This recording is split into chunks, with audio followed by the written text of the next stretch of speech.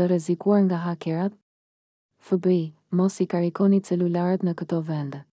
Ju lutemi bëni subscribe e sato. Nëse jeni në aeroport apo diku jashtë në ambjente publike dhe ju mbaron bateria e telefonit, normalisht që gjëja e parë që ju shkon në mendje është që ta karikoni telefonin në stacionin më të afërt të karikimit. FBI ka një këshillë për ju.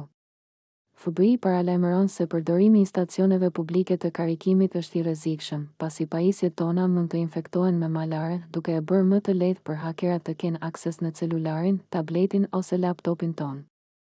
Shmangni stacionet publike të karikimit në aeroporte, hotele apo qendra tregtare, thuhet në njoftimin në Twitter. Aktorët e këqij kanë gjetur mënyra për të përdorur portat publike USB për të instaluar malware dhe për të kontrolluar softuerin e pajisjes. Në vend të kësaj, sill karikuesin dhe kabllon USB dhe përdor prizën.